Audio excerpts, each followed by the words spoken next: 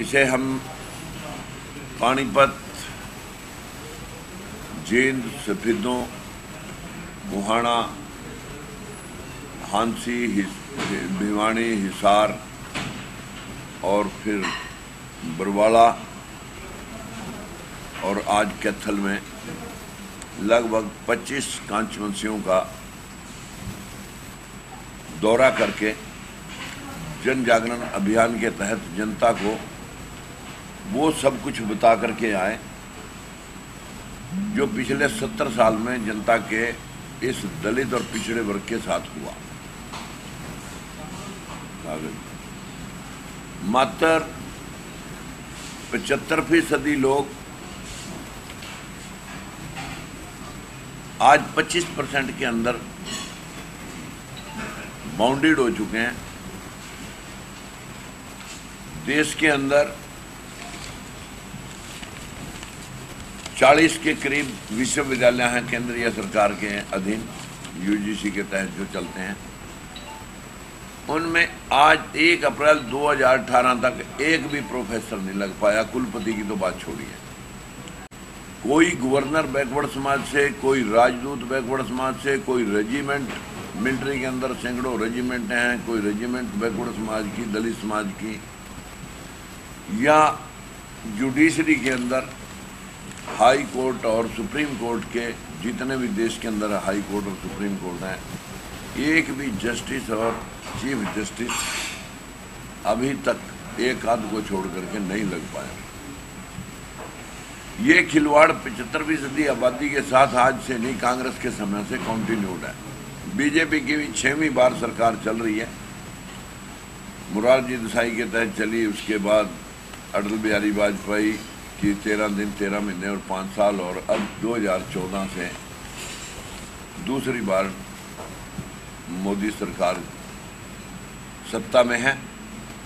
लेकिन सबका साथ, सबका विकास नारा देने वाली पार्टी, ये आरटीआई के फैसले झुठलाए नहीं जा सकते। ग्यारह पॉइंट तेईस परसेंट तक अभी तक ये सारी और पिछड़े लोगों के साथ हुआ। और भाषण दलितों, पिछड़ों, गरीबों, बेरोजगारों पे दिए जाते हैं, किसानों पे दिए जाते हैं। इन पाँचों वर्गों का क्या हाल है? पूरा देश जानता है। किसान की मजदूरी नहीं निकल पाती, गरीब का चूल्हा ठंडा रहता है, बेरोजगार दस हज़ार के लिए ललायित हैं। और दलितों और पिछड़ों की ये सारी आबादी ज़्यादातर इसी क्षेत्र में काम करती है, किसानी क्षेत्र में या बेरोजगारी मजदूरी क्षेत्र में। अगर वाकई देश का उत्थान माननीय प्रधानमंत्री जी आप करना चाहते हैं तो आप 100 परसेंट आरक्षण और एक परिवार में एक नौकरी सुनिश्चित करें। तब आप सबका साथ, सबका विकास की बात करें। अन्यथा हम इस ढोल की पोल खोलने में लगे हुए हैं। ये भाषणों से नहीं, हमें हमारा हिस्सा चाहिए, हमें किसी का आरक्षण नहीं चाहिए। अगर पचहत्तर फ़ीसदी लोग हैं तो उनको पचहत्तर फ़ीसदी हिस्सा चाहिए। और बावन फ़ीसदी पिछड़े वर्ग के लोग हैं तो उन्हें बावन फ़ीसदी हिस्सा चाहिए। और उसमें भी वर्गीकरण चाहिए।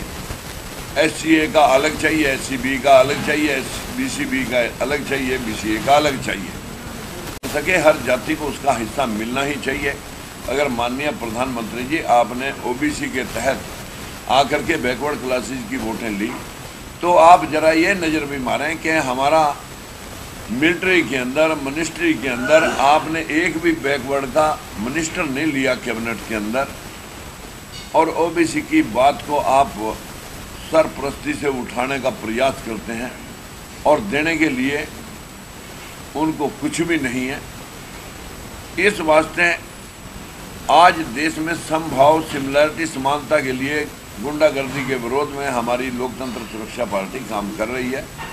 जनता को अवेयर करा के 2019 के विधानसभा चुनाव में हम साबित करके दिखाएँगे कि देश को 70 साल पहले कहाँ से शुरू होना चाहिए था। और जो युवाओं के ऊपर आज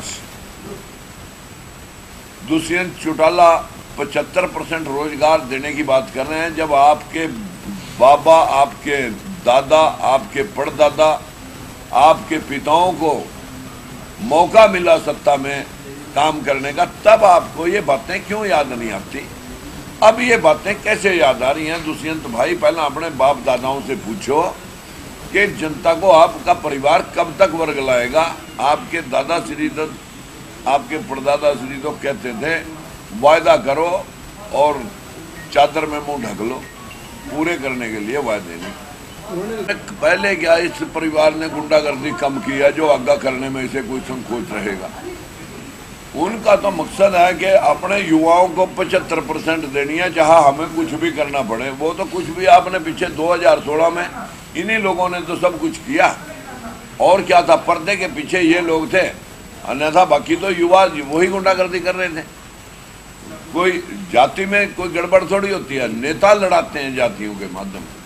इसलिए हम समभाव सिमिलरिटी के लिए इस प्रदेश में, देश में काम कर रहे हैं। हमारे पास दुनिया भर के नेचुरल रिसोर्सेज थे, बहता हुआ नदियों का पानी, अपार भंडार, कोयला और लोहा। चाहते तो हम कितनी बिजली बना करके, कितनी इंडस्ट्री लगा करके अपने देश के युवाओं को काम पे लगा सकते थे। लेकिन नेताओं ने जातियों, पातियों में बांट करके, हिंदू, मुस्लिम में बांट करके, जाट नॉन जाट में बांट करके अपने उल्लू सीधा करने के प्रयास किए। आरोप राजकुमार सैनी पे पिछले दिनों लगाया गया। अगर एक शब्द कोई जाति विशेष के ऊपर टिप्पणी का मेरा कुछ साबित कर दे तो मैं राजनीतिक संन्यास लेने के लिए तैयार हूँ। लेकिन गुंडागर्दी करने वाले पाँच पाँच मुख्यमंत्रियों के साहेब साहेबजादे और उनके चहेते, जिन लोगों ने प्रदेश में 10 दस फ़ीसदी लोगों को 55 परसेंट रोज़गार दे रखा ये कदाचित बर्दाश्त नहीं होगा। हम सभी इन कमज़ोर तबके के लोगों के लिए काम कर रहे हैं, वो हम बराबर करके दिखाएँगे। एक परिवार में एक नौकरी और सभी जातियों का हिस्सा सुनिश्चित करेंगे। किसानों और मजदूरों को इकट्ठे जोड़ करके, छोटा किसान और मजदूर तीन सौ रुपये की लेबर देंगे सरकार से और तीन सौ रुपये वो देगा जिसके खेत में काम होगा। मजदूर के छः सौ रुपये सुनिश्चित करेंगे ताकि उसे पंद्रह अठारह हज़ार रुपये की जब पगार मिलेगी तो उसे किसी के पैंतीस किलो दाने की लोड़ नहीं पड़ेगी। और ठीक उसी प्रकार छोटे किसान को जब आधे रेट में मजदूर मिल जाएँगे उसे भी फांसी लेने की लोड़ नहीं पड़ेगी। देश की पैंसठ परसेंट आबादी काम के साथ जुड़ जाएगी।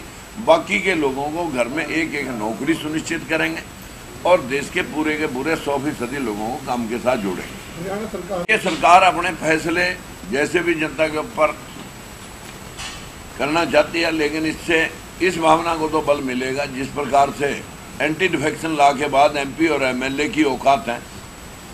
वो अपनी पार्टियों में बंधुआ मजदूरी के तहत काम करते हैं। कितना भी पूरा प्रदेश जड़ जाए, लेकिन बीजेपी कह रही हम आरक्षण देंगे। और एमपी 200 800 एमपी बैठे हैं, जिनमें 200 एससी बीसी के बैठे हैं, जिनके हक के ऊपर डाका मारने का प्रयास किया जा रहा था लेकिन एक भी बोलता नहीं, कभी बीजेपी के मुखिया नाराज़ ना हो जाए। इसी तहत ये भी भावना को, इस भावना को भी बढ़ोतरी इसी देश में, इस सिस्टम में मिलेगी कि एमसी की या पंच की या मेंबर की कोई हैसियत दिखाई नहीं देगी।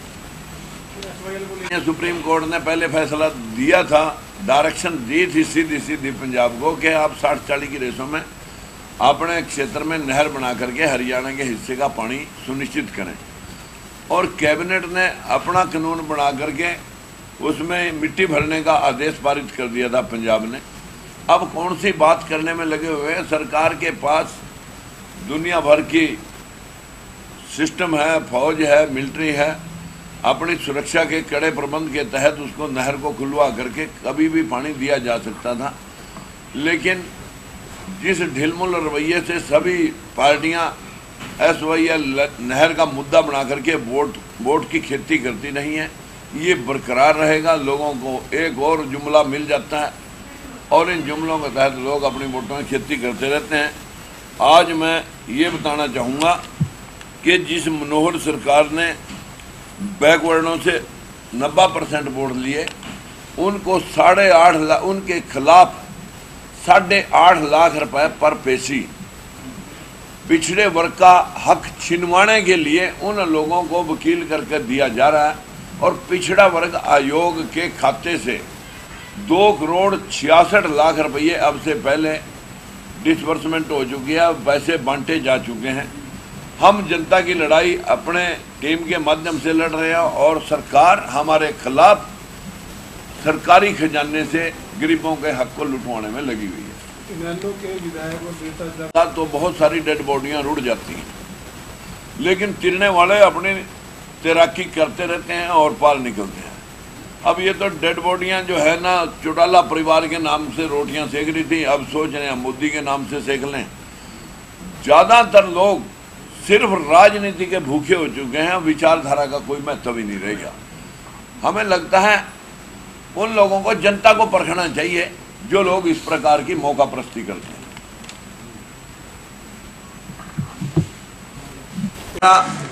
कैथल गुलाची का